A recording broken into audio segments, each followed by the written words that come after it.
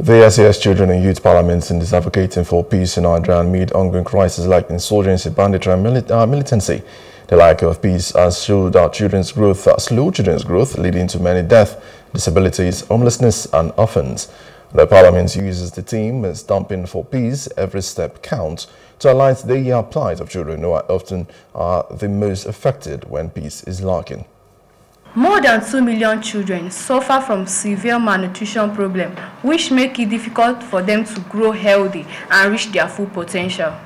Nigeria is also ranked as the second worst country globally on the 2023 Climate Risk Index, with over 100 children facing multiple risks growing on climate crisis.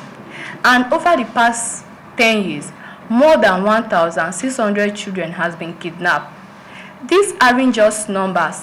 This represents three kids, our brothers, our children, our sisters, our friends, and our future leaders whose rights are being denied to a safe and happy childhood. We refuse to stay quiet while our future is being taken from us. We call on our leaders, our communities, and the world at large to help us fight for peace. Let us come together to end child labor and trafficking in Nigeria. Peace is a key to having good education and a better life. Right now, children in Nigeria face so many challenges that puts our peace and well-being at risk. That's why we're starting this Stomping for Peace journey to demand the following. Peace against child labor and trafficking, peace for quality education, peace against child neglect and abandonment, peace against violence and insecurities in schools, peace for good nutrition and quality of life, peace against environmental hazard, peace against courtesans and kidnapping.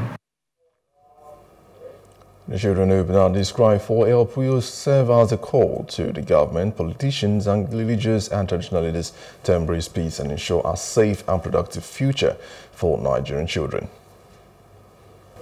Hello, hope you enjoyed the news. Please do subscribe to our YouTube channel and don't forget to hit the notification button so you get notified about fresh news updates.